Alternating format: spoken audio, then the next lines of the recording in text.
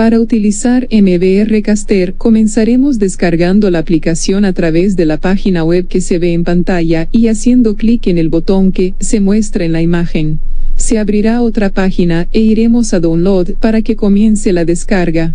Luego la ejecutaremos y daremos los permisos para que se instale. Para configurar el audio, seleccionaremos la tarjeta de captura en el menú desplegable. La transmisión de la pantalla seleccionada se enviará al servidor de transmisión, o sea, a nuestra radio.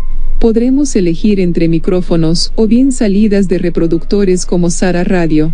Si deseamos conectar con Sara Radio, iremos a esta aplicación y luego a la pestaña Herramientas, Opciones, Salidas y seleccionaremos el canal de salida que será utilizado como canal de salida para la emisión y como canal de QE.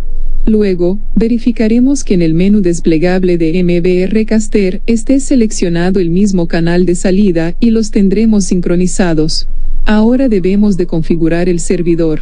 Para esto iremos al menú en la parte superior donde dice MBR Caster, configuración.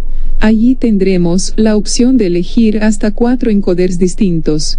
Iremos a encoder 1 y completaremos los datos que nos provee nuestro hosting.